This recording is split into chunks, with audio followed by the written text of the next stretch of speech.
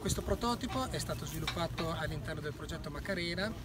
che ha eh, come obiettivo l'utilizzo della canapa come cultura trappola per la piralide. Eh, sia su mais eh, che, peperone. Il progetto eh, eh, aveva diverse azioni, fra cui anche quella di sviluppare un prototipo per facilitare le operazioni di eh, taglio, essiccazione e raccolta delle piante di canapa. Nello specifico questo qua è il prototipo che è stato sviluppato, nato all'interno del progetto interregionale eh, Nuove Filiere coordinato dalla regione Friuli Venezia Giulia nel 2006, ha avuto diversi step di evoluzione fino ad arrivare alla, a quello finale